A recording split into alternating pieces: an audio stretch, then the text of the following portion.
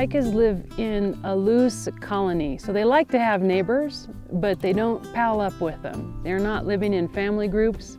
Uh, each individual pika has to have its own yard. A male pika will have a female neighbor, and that's probably one of his mates. They're not monogamous, they don't mate for life or anything like that, and they all mate opportunistically with other neighbors. It turns out uh, female pikas can have up to three litters per year. They have an early litter um, maybe starting in March through May, um, and then they might have another one if the year is good, and maybe even a third. But what's interesting about pikas is that juvenile pika, after it's born, has to attain a mature size, disperse to find a new territory somewhere, start a hay pile for the winter, and amass enough hay that it's going to survive the winter. That's a lot to do in a short alpine summer. So often only the first litter has a chance to survive the next winter. Pikas and marmots coexist quite nicely. Um, in fact, the best pika territories are often right next to or on top of a marmot den.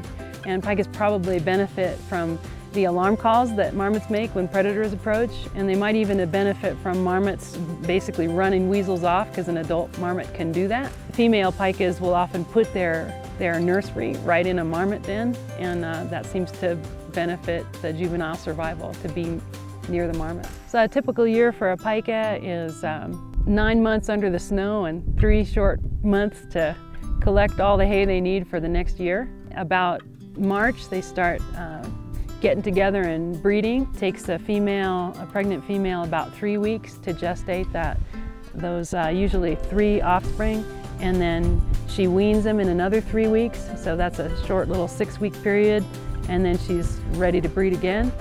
Throughout the summer, she's nursing juveniles and uh, eventually she starts collecting hay near the end of the summer, starts storing it under a rock.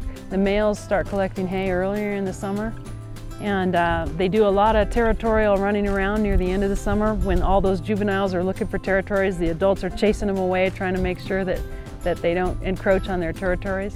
And then when the fall comes, they start really ramping up the haying activity and they're collecting vegetation, you know, they'll make 100 trips a day, grabbing a mouthful of hay and sticking it under the rock.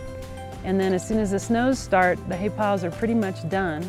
And then they go back to hopefully something close to nine months of snow cover. On average, in the literature, it says pikas live about two to three years. That doesn't necessarily mean a lot because juveniles have a very low survival rate compared to adults.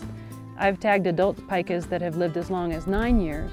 If a juvenile pika finds a good territory, it can live for several years. The probability that a juvenile pika is going to live to find its first territory is quite low.